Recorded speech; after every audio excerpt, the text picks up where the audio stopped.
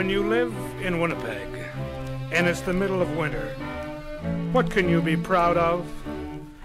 When it's 33 below and the wind instantly freezes your fingers as you fumble in the mailbox for the postcard with a picture of a beach and palm trees and a short message from a friend holidaying in Florida and wishing you were there, where is the justice?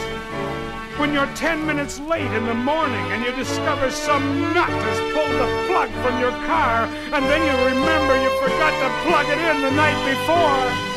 When you're standing on Portage Avenue waiting in a 26 mile an hour breeze for a bus and it finally arrives and you discover you don't have the exact change. In fact, you don't have any change because you left your wallet at the office.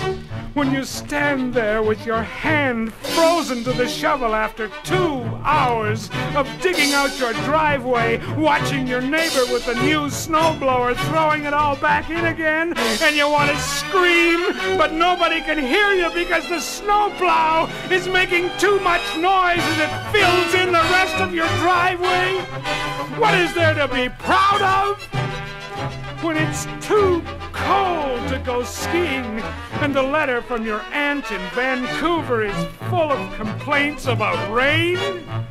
When you finally get your car started after waiting for the serviceman for two and a half hours, and then back into a telephone pole because the frost shield the cop told you you had to put on has a leak in it and you can't see out of your car anyway?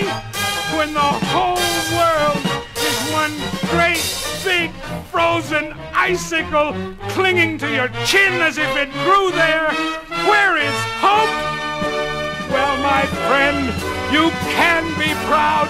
There is hope. Be proud. Proud of the fact you've survived.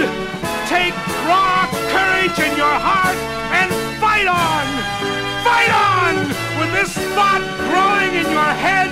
Summer is only six and you wouldn't want to miss that wonderful day.